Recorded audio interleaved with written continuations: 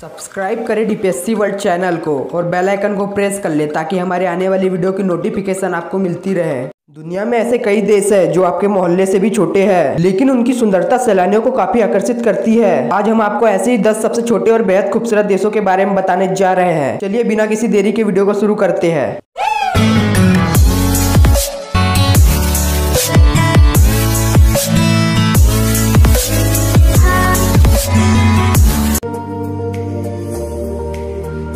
Number एक मुनाको, यूरोपीय देश मुनाको दुनिया भर में अपनी खूबसूरती के लिए पॉपुलर है।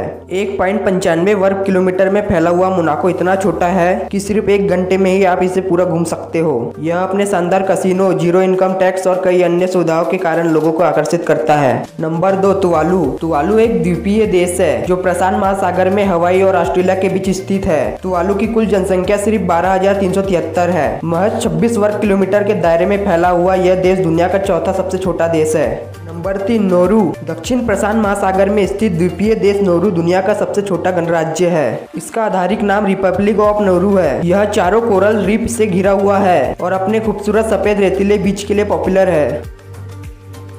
नंबर चार, लिक्टेस्टाइन। स्विट्जरलैंड और ऑस्ट्रेलिया के बीच स्थित लिक्टेस्टाइन काफ़ी खूबसूरत देश है। 160 वर्ग किलोमीटर क्षेत्रफल के साथ यह दुनिया का छठवां सबसे छोटा देश है। यह अपने खूबसूरत पहाड़ों के लिए फ़ेमस है। नंबर पाँच, माल्टा। यूरोप का नाम सुनते ही ज़्यादातर सैलानियों को स्पेन और फ्रांस जैसे देश याद आते हैं। लेकिन माल्टा किसी स्वर्ग से कम नहीं है। माल्टा में अपनी प्राकृतिक सुंदरता के साथ ही रोमांटिक समुद्री तट के लिए फ़ेमस है। नंबर छः, Saint Kitts and Nevis. Saint Kitts and Nevis West Indies में स्थित है। इसका कुल क्षेत्रफल दो सौ इकसठ वर्ग किलोमीटर है। यहाँ की प्राकृतिक खूबसूरती देखने लायक है। नंबर सात न्यू।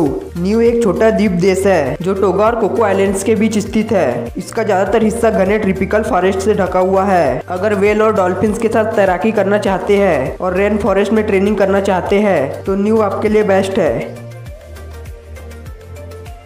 नंबर आठ, ग्रनाडा। ग्रनाडा वेस्ट इंडीज द्वीप समूह का एक छोटा सा द्वीपीय देश है। यहाँ के हरे भरे ट्रॉपिकल रेन फॉरेस्ट, विशाल झरनों, झरने वाली नदियों और लुभावनी पहाड़ी झीलों को देखने के बाद आप कभी यहाँ से जाना नहीं चाहोगे।